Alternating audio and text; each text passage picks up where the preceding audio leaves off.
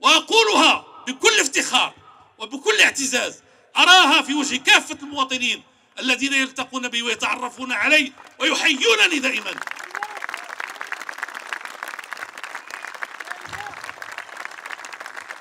معليش معليش إلا بغاو ينكروا هذا الشيء كامل. أنا مشيت الحمد لله مرفوع الرأس.